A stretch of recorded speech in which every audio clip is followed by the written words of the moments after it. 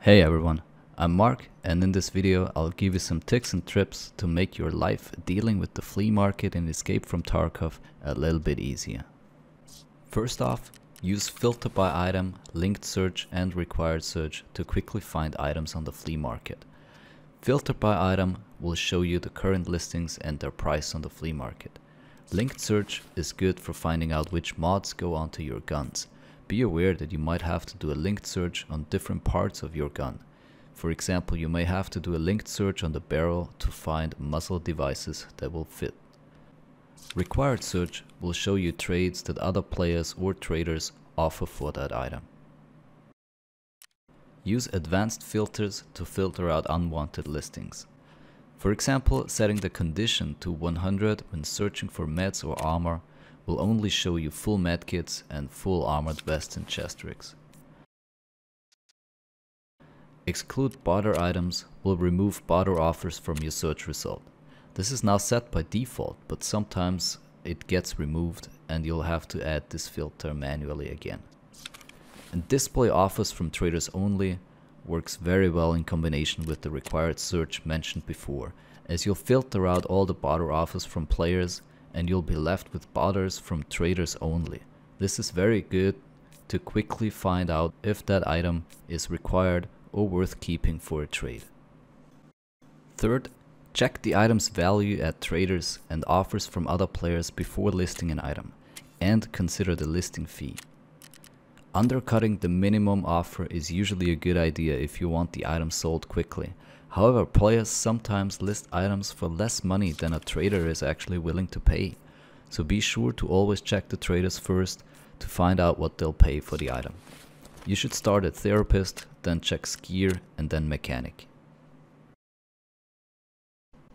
Use keyboard shortcuts.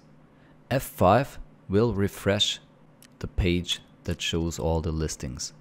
There's also an icon located at the top right that you can click. Pressing Y will confirm a purchase. This way you can be faster than other players when trying to snatch that valuable item. Use auto select similar when trying to sell multiple items to automatically select all items of the same type. This is a great way to quickly list multiple identical items for the same price. Be aware that at the moment items need to be outside of cases for this to work though. Double check the currency of listed items you're about to purchase.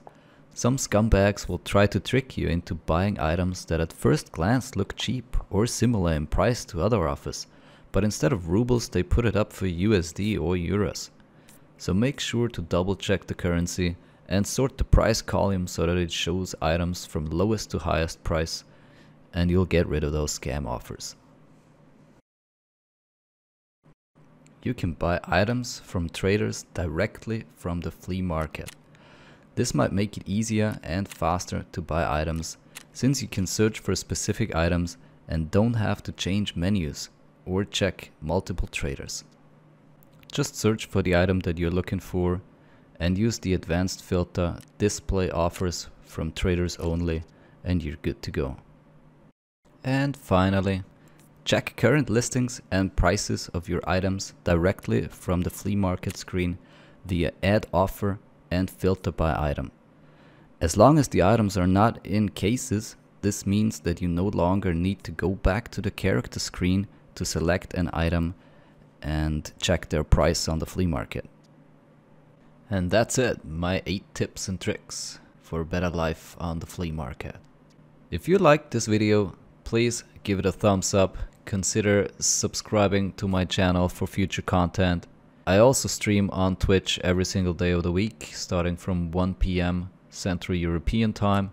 So if you have any questions, leave a comment below or hit me up on the live stream. Thanks for watching guys, see you next time.